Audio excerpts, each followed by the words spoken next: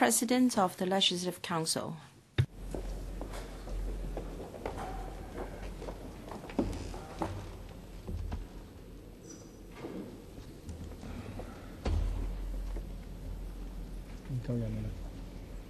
夠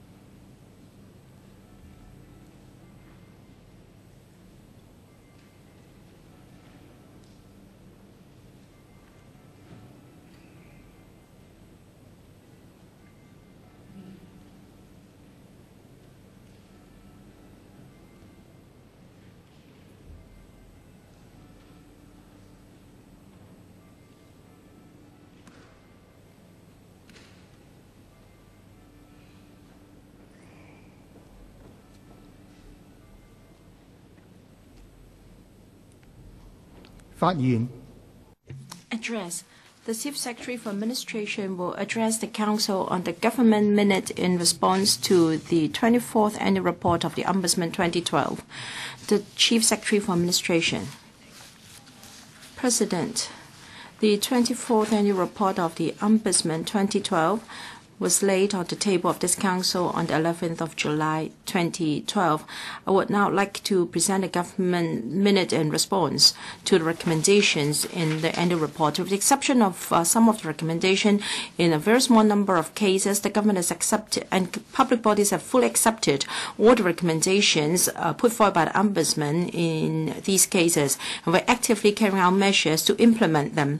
And the minority of recommendations have not been accepted have been given full explanation to the ombudsman by the departments concerned, and details can be found in our minute.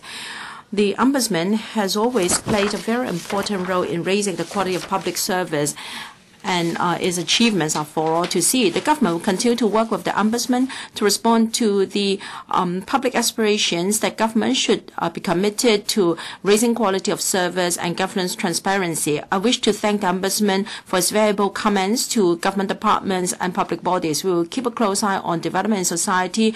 We will promote uh, cooperation among government departments so that there will be even closer uh, liaison between them so that we can continue to raise the quality and efficiency of service to the public. Thank you. Question.